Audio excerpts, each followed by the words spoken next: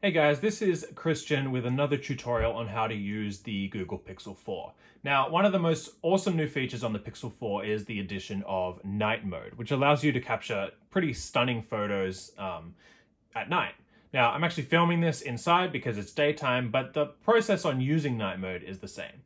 Now, it's important to note that in order to use night mode, you have to use a tripod or set your phone on something so that it's completely still. Otherwise, the, the feature won't trigger and you won't be able to use it.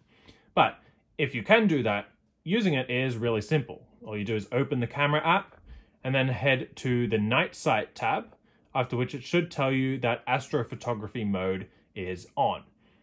Then you simply hit the shutter button and it'll take a few minutes to capture the photo.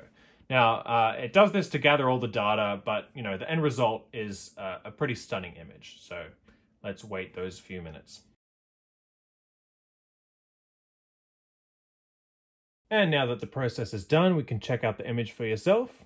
And there you have it, an image that's pretty stunningly detailed, uh, despite the fact that it was captured in ultra low light. Uh, thanks so much for watching. Again, my name is Christian, and please subscribe to this channel if you like this video. It really helps support the channel. See you next time. Bye.